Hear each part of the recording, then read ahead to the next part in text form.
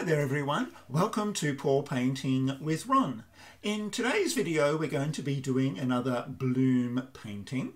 I'm having another go at one I had trouble with a couple of videos ago. Um, hopefully it'll work this time. Now space is at a bit of a premium today because I've just done another painting.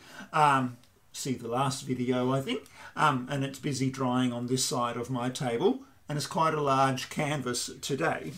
Now, if you recall, a, a, few videos ago, I did a painting on this, this large canvas that was 40 centimetres by 80 centimetres. Now, it did turn out really well in the end, but I had a bit of trouble with the, the physics of how the paint was moving.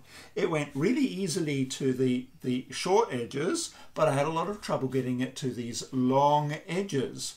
Maynard forgot that um, the further away the canvas is from the center of the spinner, the faster it goes and the more force there is on the paint to pull it out to the edges. So all my paint went to the edges and hardly any went to the other side. So this way I'll, I'll change, this time I'll change it a little bit how I put my paint on the canvas and hopefully I won't have um, as much trouble as this time, last time. Now I'm not going to go through the whole recipe again, but I will put some links at the end of this video that you can click on to see um, how you do this particular technique in great detail. I go through the complete recipe. It's not really that hard if you get all the bits right in preparation. Now, the first thing I will need to do, of course, is choose my colours. Now today, just to change things up a bit, I'm using my black cell activator. So I just use the black Amsterdam paint, the black oxide, and mix that three one part paint to three parts Floetrol. So that's my black cell activator. And then the colours today are all Jo Sonja's colours. They're a nicely highly pigmented colour. And I've just mixed them up with my pouring medium in these bottles. So there's the untinted house paint and the Jo Sonja's gloss varnish. Um, the recipe, as I said, is in the other videos I'll put a link to. So I'm using some turquoise and some blue, purple, some red, and this lovely gold that I just got the just this last week. So altogether with the black lacing, I think it should look really nice. Now, ideally, I'd want to use a black pillow paint as well. Um, if I can find some in the shop or work out how to do it, I'll do a black one and see if it looks if it looks any better. Because I really don't want the white to pop out too much, but it will when I stretch it out. If I use just black, I'll just have black with black lacing and the, the colours popping through, which I think will look a, a lot better. Not that this will look ugly, but I think a black pillow would look better. So I'll keep an eye out for it in Bunnings, and if I can find it, then I'll do one and I'll video that one as well. Now, before anything, I do anything else, I need some gloves because this is messy. So I'll put on my trusty gloves.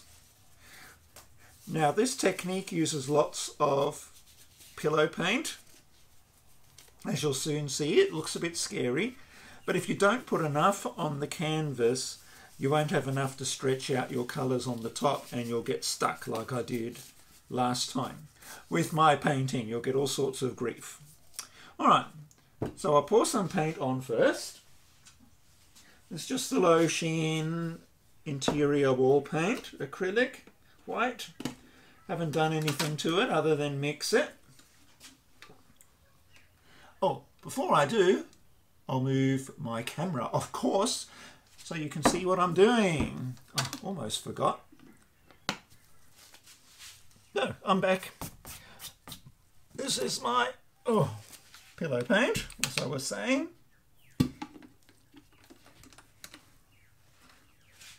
Now I'll just pour some round about the centre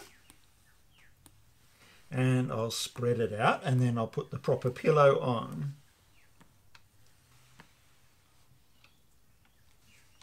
Let's put that somewhere. Uh, over here.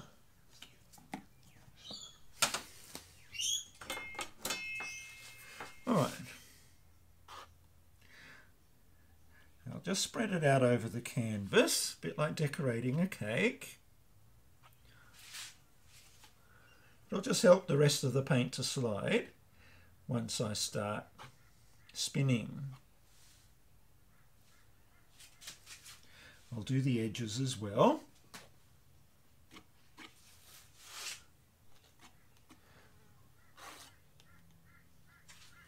I really hope it works today. And that it will spin heavenly.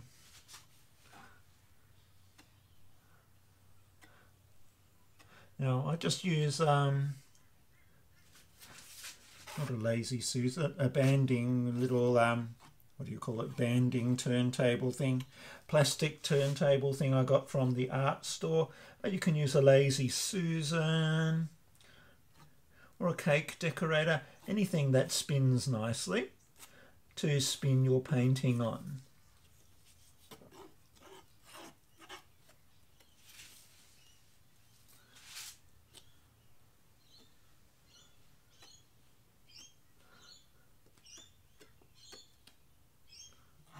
Okay, that's the top covered.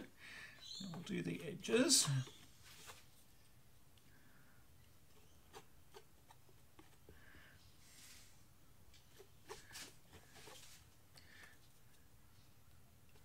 don't think British Paints had paint pouring in mind when they made their paint. But whatever works. Now, if you're in America and you can't get the Jo Sonja's gloss varnish for your pouring medium, you you can use polycrylic as well. It's a polyurethane too. Anything that's non-yellowing.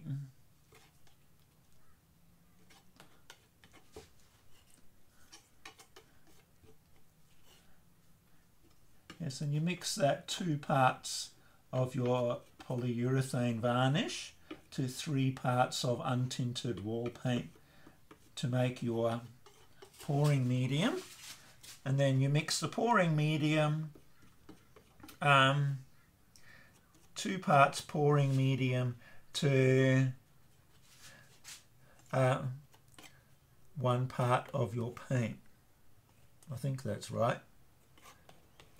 check out my other videos anyway, just to, to make sure.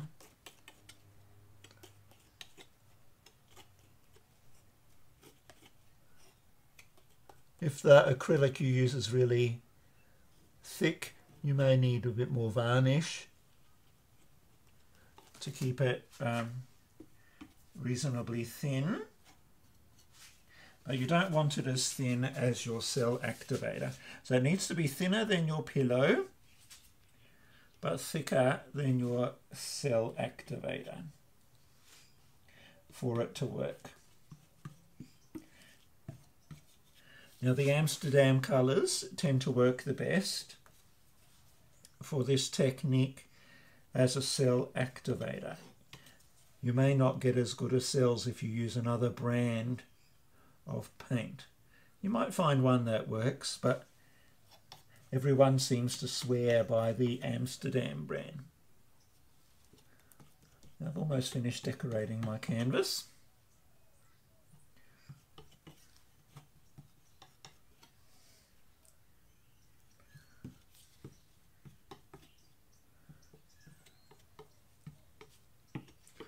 Okay smooth it out a little bit. It's very thick, so it's pretty hard to smooth anyway. Now, I'm this time I'm going to be pretending that it's actually a square canvas. So I'm going to ignore the ends. The physics will take the paint there. I'm going to imagine it's just a, a 40 by 40 square canvas when I put the pillow on. So I'll put it closer to those ends than these ends. Hopefully that will work. Well, that's the theory anyway.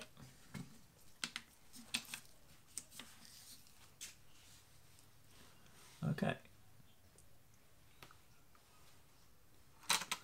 Ugh.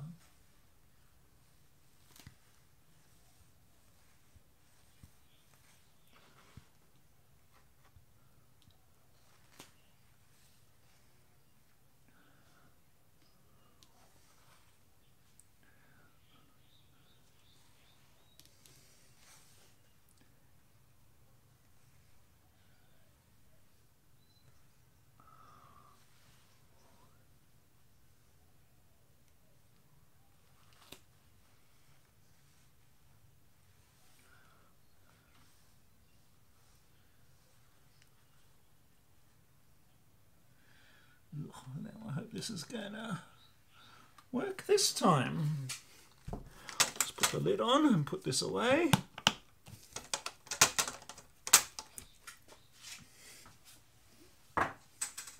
Now, before I put the colour on, I'll give it a bit of a torch. Maybe a bit this way. Not quite the middle.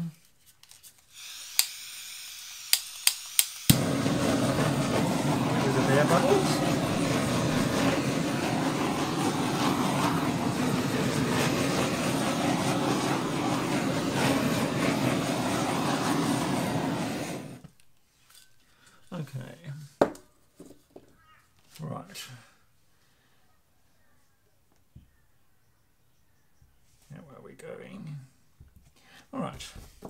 Now I'll start off with my darker colours and put the lighter ones on the top.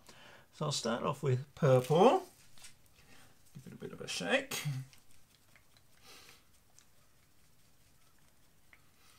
It does tend to separate a little bit if you let it let it stand. All right. And where's the middle?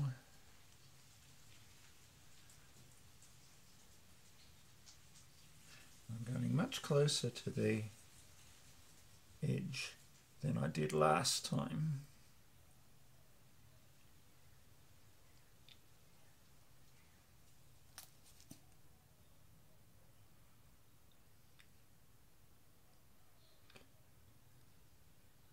Now I like these drizzle ones.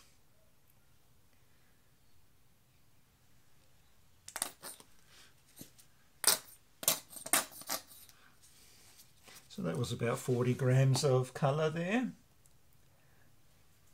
Uh, I'll do blue.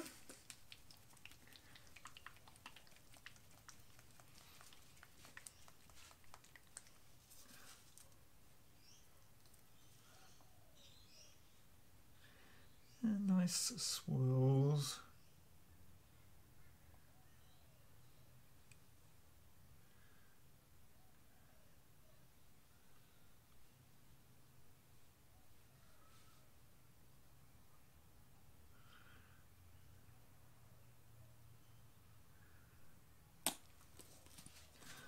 And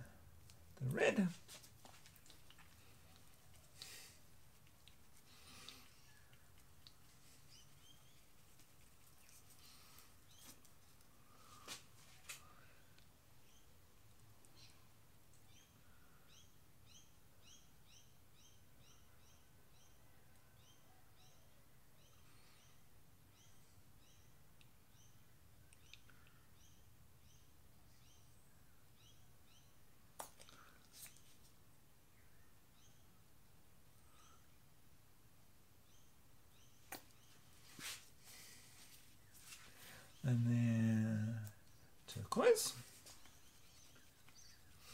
And then I'll finish off with the gold. Now I might want most of my gold in the middle, so I'll play around a little bit with that when I put it on.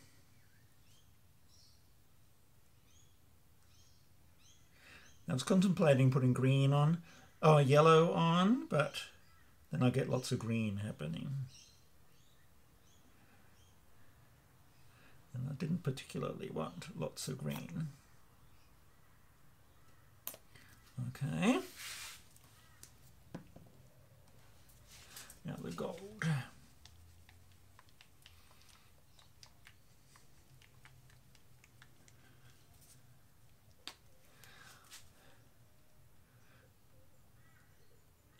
Now I'll do a smaller rectangle.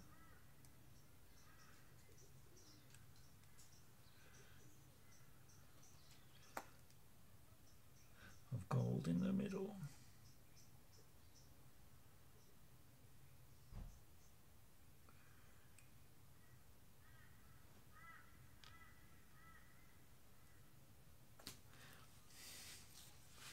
Okay, we'll see how that works. I think I'm right in the middle. Okay, now the cell activator I'm going to put on this paint wall scraper thing. And then I'll use playing cards to apply it onto my canvas. Get my playing cards. Not super organized today, am I? Let's get a couple. Need another packet soon. I don't have space. So I'm just applying the cell activator. Then I get a playing card. I'll use the wide edge. I just dip the edge in to get a nice covering. And then about the middle, I'll drag the colours out like so. Now it's going to go to that end anyway, so I'm not going to go right to the very end. Again here, the middle.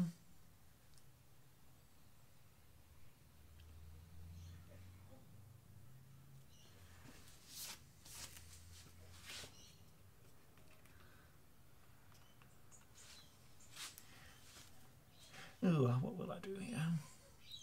Start from the middle and go this way, I think.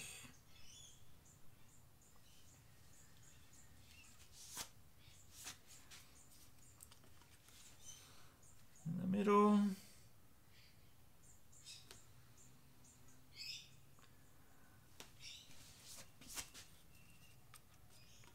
Just wiping it off each time.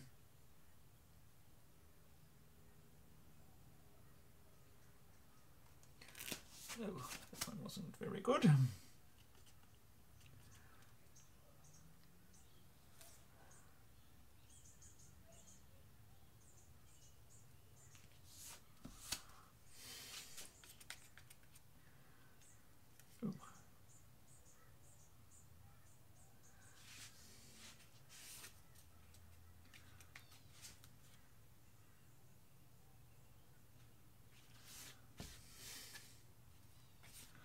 How's that looking? A bit more cell activator.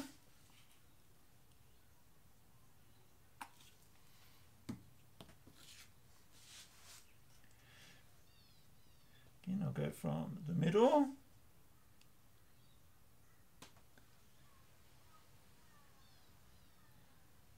And just out like that.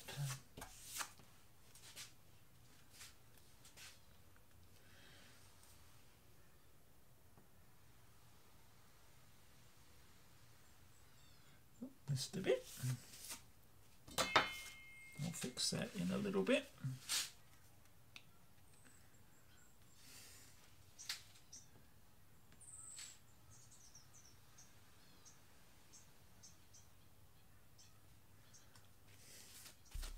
Get another card. Or can I use the other side?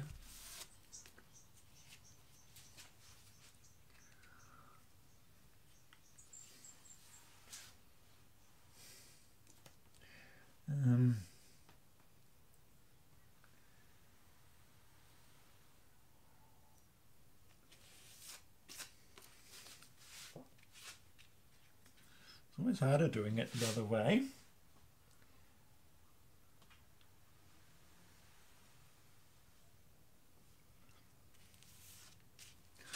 Time for a new card. Some more cell activator. I really hope it works this time. It's a, uh, a lot of paint. Okay. Now we'll go from here. I'll go right to the edge this time.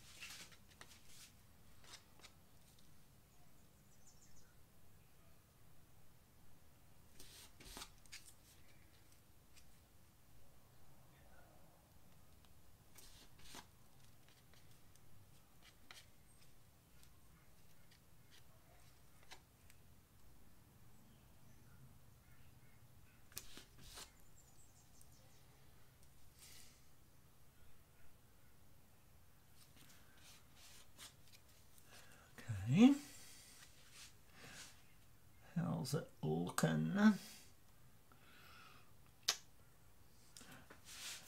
use the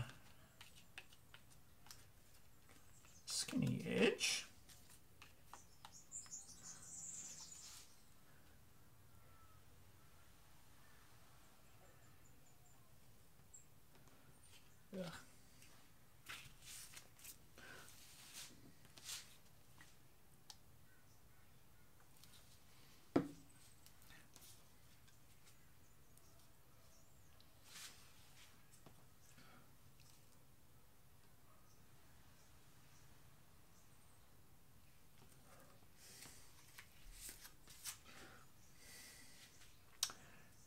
going.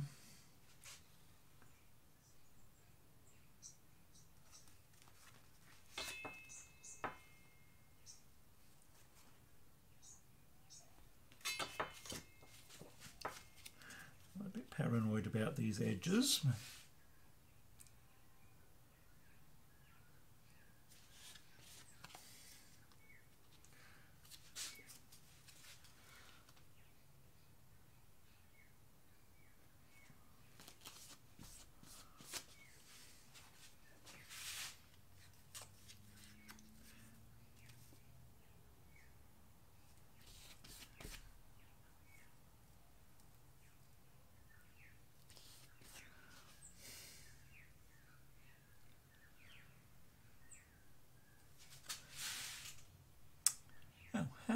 Is that.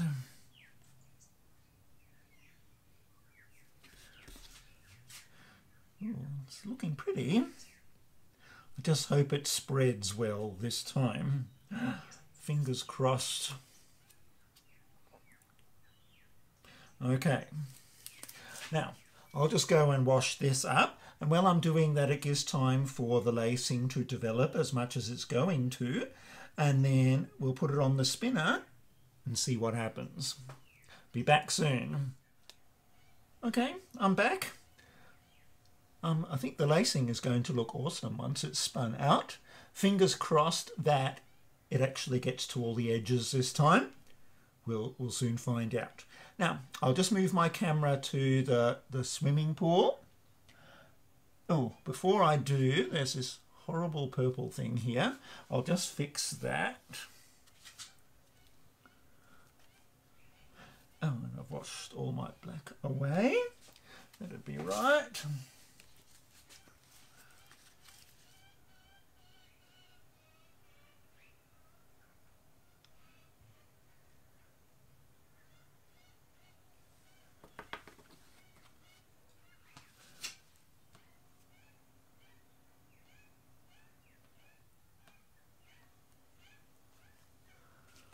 That's better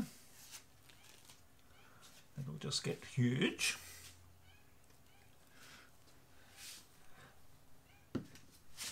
Okay, so this is my spinner, nice big children's swimming pool. Um, and I've lined it with old plastic just to catch all the drips that fly off. I've upturned a bucket just to keep this um, canvas off the surface. Sometimes I have thick edge canvases and just putting it on the Lazy Susan not quite tall enough. Now I've put this board on the top for larger canvases just to support the canvas a little bit better. Now you may notice a brown smudge over in that corner. That's a huntsman spider. Saw it there this morning. It's well and truly dead.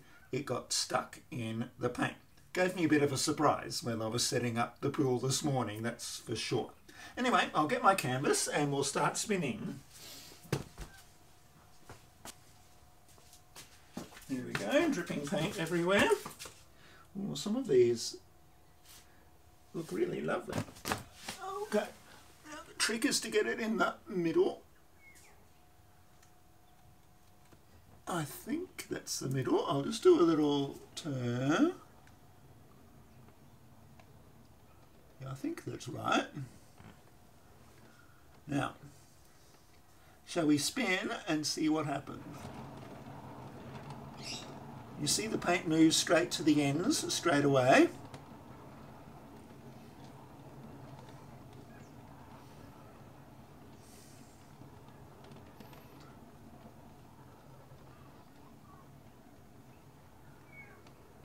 See, it moves to the ends immediately. Now watch that. I may have to pick it off and just stretch it manually to the corners a little bit. I may actually do that now. I'll pick it up. Just go there. There.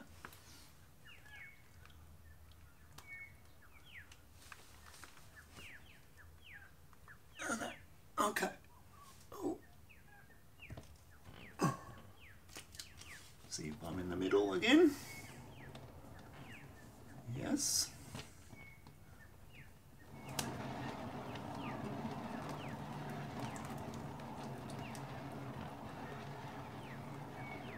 We go straight to the ends.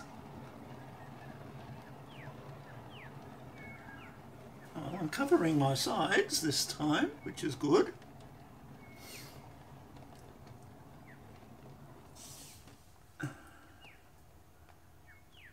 Just a bit worried about that corner, but we'll see.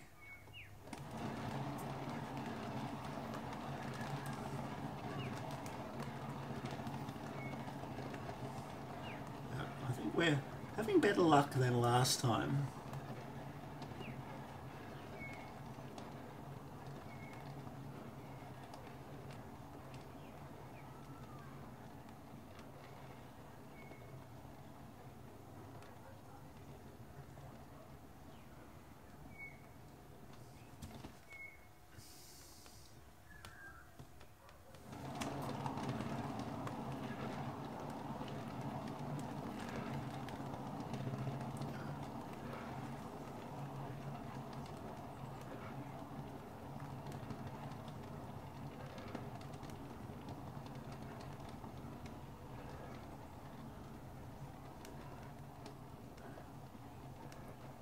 More success.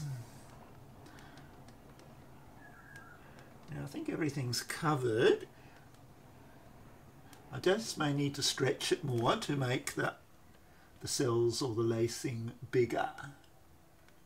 Oh, that looks really awesome. Now you don't want to overdo it.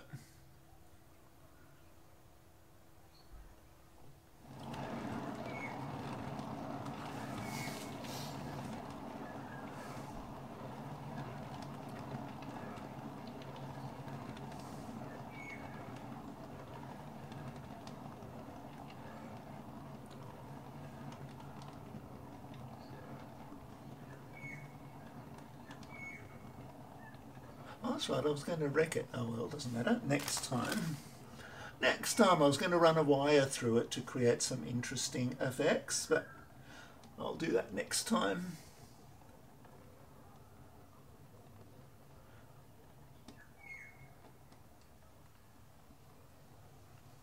Ooh, that's lovely.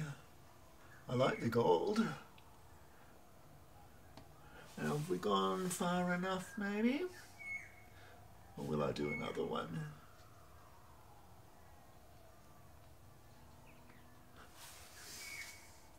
I don't want to, I don't want to ruin it.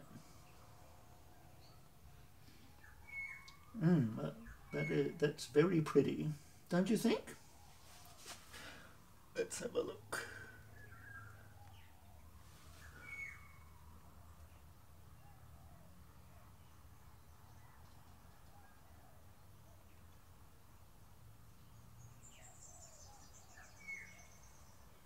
I might leave it like that.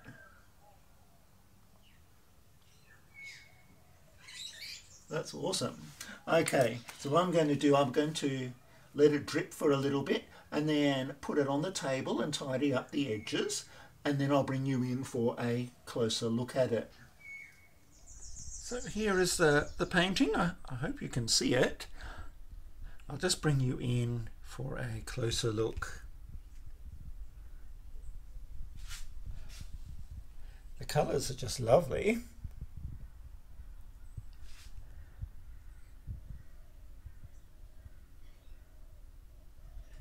The lacing is beautiful. all the way to the very ends. So next time I do it, as I said, I'll I'll run some wire through the painting before I spin it out just to create some swirly effects rather than just the straight straight lines some very pretty pretty lacing and color combinations happening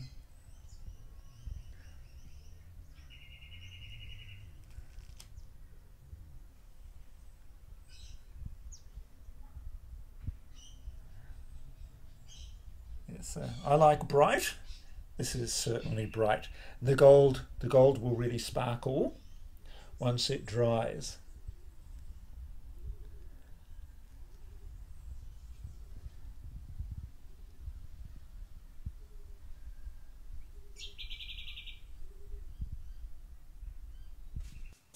So what do you think? Pretty, isn't it?